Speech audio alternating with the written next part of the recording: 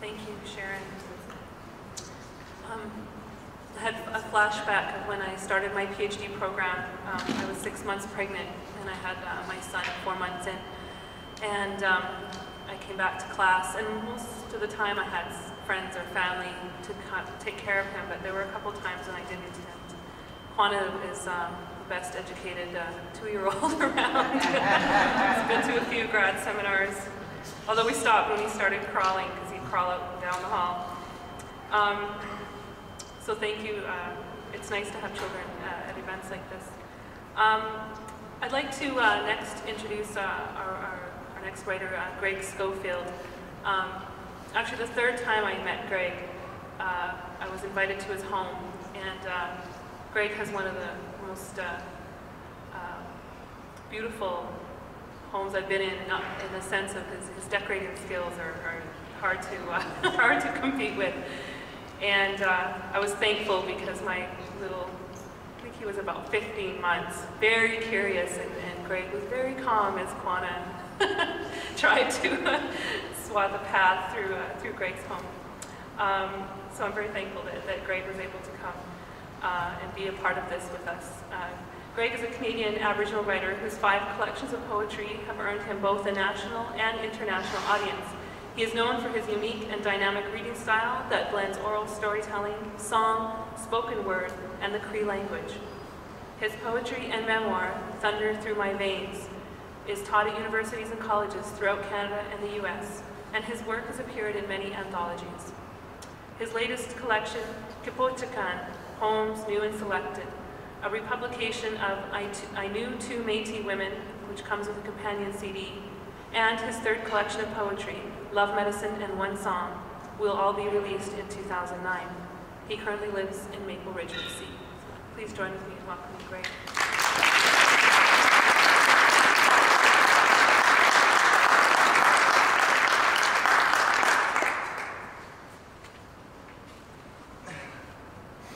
Good, uh, good evening. I'm really um, honored to be here. I'm going to, I've got uh, I'd originally picked some poems that I wanted to read, and then of course I changed that up halfway through. Um, I don't want to spend too much time up here talking and, uh, and what have you. We've been doing a lot of talking the last couple of days. But uh, of course, just before I begin my reading, I wanted to, uh, I want to acknowledge again that uh, the territory of uh, the people on which uh, we're sitting, in which I'm standing. Just want to, to acknowledge that. and um, I also, uh, I'd also like to say how uh, wonderful it's been last couple of days to see uh, old friends, old colleagues. Um, the only time we ever seem to see each, or see each other is at conferences or readings. And uh, I've always said our community is, um, is like one big family. And, uh, sometimes um, it takes a long time to see each other. And of course, meeting new people uh, in, in our family of writers being able to meet people like uh, Beverly and what, uh, what an honor it is. Beverly, I got thinking about you just, uh, just as I was sitting here, and I got thinking about, um, about um, what we were talking about uh, yesterday. We were talking about uh, Chief Crowfoot. We were talking about how uh, Chief Crowfoot had adopted um, one of our chiefs, one of the Cree chiefs, uh, Poundmaker. And what I'd like to do is um, I'd like to, um, this particular poem I'm going to start with uh, tonight, I mean, some of you have heard this poem before, so forgive me. But um, this poem is um, really a poem that had been, it's not even really a poem, it's more or less a conversation um, with my grannies of five generations ago. These were the original Cree women from York Factory area. These were the women that became the country wives of, uh, of the Hudson's Bay men so my background. I got thinking about these women one time, and I, I, started to talk to them. I was very fortunate that I grew up with um, speaking the Cree language. So this, uh, the, this conversation, this poem is for them. But the beginning of this poem, I want to dedicate uh, the, the, beginning of this poem to, uh, to the people on whose territory I stand, and uh, to uh, Chief Crowfoot and to uh, Poundmaker. This piece is called Prayer Song for the returning of names and sons. Yo!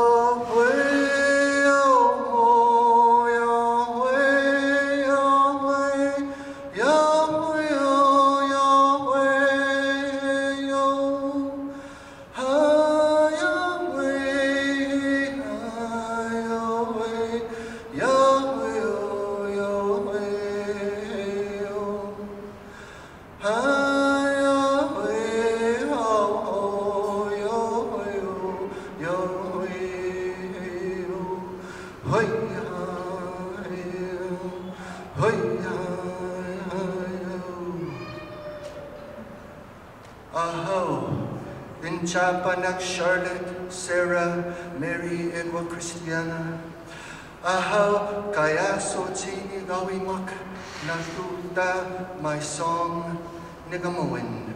How, this song I am singing to give you back the polished swan bones, the sewing all the birch bark bundle holding the whetstone, the drawing stone, the pounding choke cherry stone. Oh, the spirit of your Esquio names, the ones not birthed from the belly of their ships, not taken from their Mantoy Masanagan, oh, their great naming book. In Chapanak, Charlotte, Sarah, Mary, Egwa, Christ, E, Anna. These are the names I have thrown back across the water. I have given back to their God who has two hearts, two tongues to speak with. How? Natuta, my song, Nigamuin, the renaming song, I am singing five generations later. Natuta, my prayer song, so you will be called, sung as tattooed from the lip to the chin woman. Hey, hey. Sung as she paints her face with red ochre. Hey, hey. Sung as charm woman who is good to make a nation woman. Hey, hey. I give you back in Chapanak the names to name the names of bones. Oskana, you laid down to build them a house. How? The blood Miko, and warm earth skin Aski that built them an empire. Natuta, my song, Negamuin, this prayer song I am singing to bring back your stolen sons, whose sons and sons and their missing bones are unsung geese lost in a country across the water. In Chapanak, I have thrown back your names, Namoy Kiawao, Charlotte, Sarah, Mary, Egwa, Christiana, Namoy Kakiao, Munya, Skuwak, Ahaw, in Chapanak Kaya, Sochi, Nigawimak, Natu, da my song, Nigamoin, this prayer song I am singing. Hey, hey.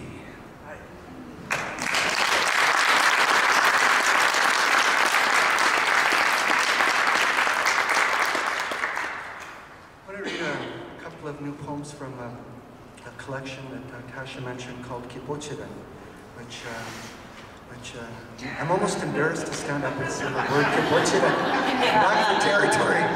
The reason being, Kibochiren in Cree is a, a, a slang word for, um, for, being, uh, for being mute or being silenced. And, um, and, and, and uh, if, if you buy this book, when you buy the book, you'll find out all, all why I've said about being mute or whatever. But I don't know if I'm going to be reading from this book in Blackfoot territory because uh, Beverly uh, told me earlier today, Kibochigan, or something that sounds like that, is very, very close in Blackfoot, meaning 10 penises. so I'm either going to have to, uh, you know, stand like this. do my readings. Or run fast. Or run really fast. is the next So Blackfoot women are dangerous. Yeah. So I better not say Kibochigan. All right.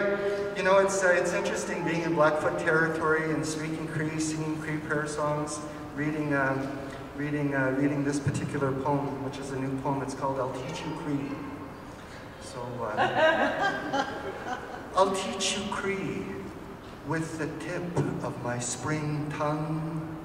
Aiki, your mouth will be the web catching Abikis's words, a crawling out ceremony that cannot be translated. How Bikisqui. I'll teach you Cree, Nihiawiwin, that is the taste of Bimi Saskatoomana. Your mouth will be the branches I am picking clean, a summer heat ceremony that cannot be translated. How Bikisqui. I'll teach you Cree in the winter, Bipun, when the dogs curl against our backs. Your mouth will be Bawajakana Sispisim that cannot be translated. It will be a ceremony. How Bikisqui. I'll teach you Cree Ikukmistahi Sadita, It'll be in the fall, this ceremony. You will have the mouth of a beaver, thick and luminescent. I will make my camp there. Iko pistahi sagitan. This cannot be translated. How bikiskway.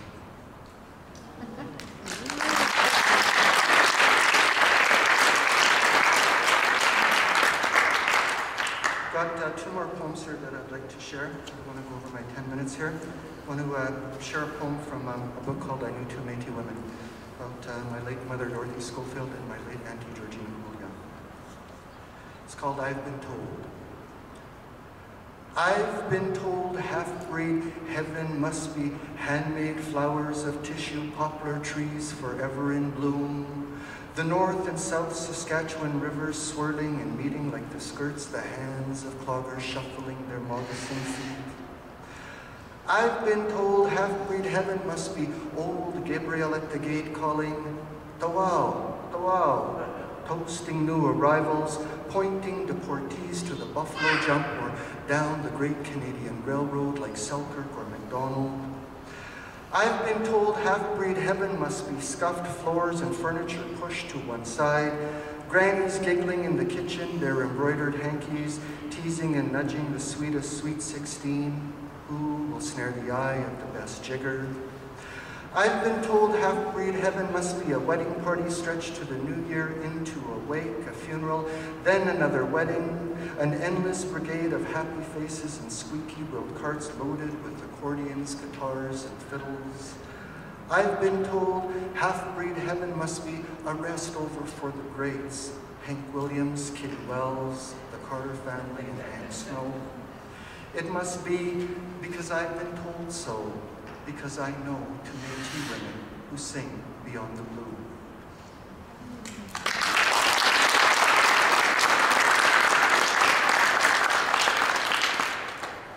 I was going to kind of end off with a dirty poem. I don't know. I, I don't know.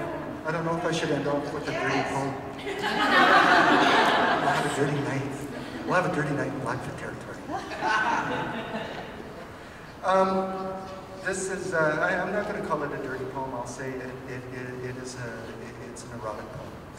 And um, I was, uh, I was uh, uh, doing the writer in residence in Manitoba um, last, uh, about, a, about a year ago. And uh, this is the only poem that I came away, that I came out of Manitoba with. It's called, uh, not that I was doing anything else. It's called The Ship. Huh? What about my poems? the ship. He is building a ship with his eyes. The bistro boy is building a ship with his eyes. He is building a ship so soundly I want to give him my mouth, my youth that crawls the deck of his lashes, my tongue, because young Jonah is building a ship with his eyes. The bistro boy is building a ship with his eyes. Jonah is small and not my type. He rides the bus, he drives a skateboard. But the winter light is a hot-lit whore falling across, across his lashes, who is dangerous after seven because in this light he uses his eyes to cut pie, his curls to make the salt and pepper shakers come. I come each day to see the progress. I come to watch the compass of his fingers. Because I am torturous, Jonah does not know. At closing, I think about people, or I think about the heat people leave in chairs and how if the chairs were his legs, I would arrange them apart. I would make him wide. I would throw him open. I would make him take on water because he is building a vessel, a ship, with his eyes. But he is not in love. The bistro boy is not in love. He is merely a body of newness. I can smell his salt. I can taste him. Jonah does not know when I draw my evening bath, I am only nine floors above him. Beneath my clothes, my bones are useless. I am as good as landlocked. Two provinces away, my captain keeps our ship afloat. Because of this, I drink lattes alone. I keep quiet like a foghorn. But from my chair, I watch the chairs and I watch Jonah, the bistro boy, building his ship. Day in, day out, I am more in love because he is tireless, a sea of fingers, so perfectly thorough.